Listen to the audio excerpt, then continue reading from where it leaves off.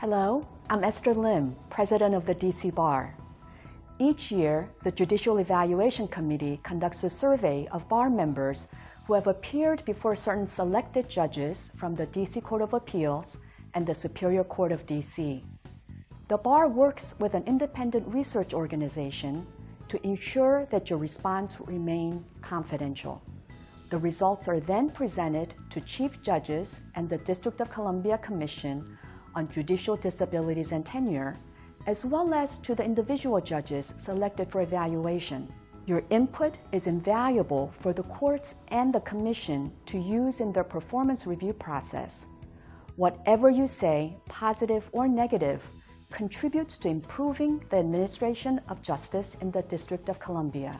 Your feedback helps the chief judges address concerns about a judge's conduct, highlights best practices and conduct that should be commended, and allows the judges themselves to receive vital feedback.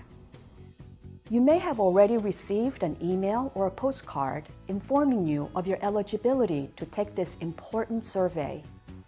If you haven't already received notice, you can go to dcbar.org backslash judicial-evaluations to review the list of judges and learn more about the survey.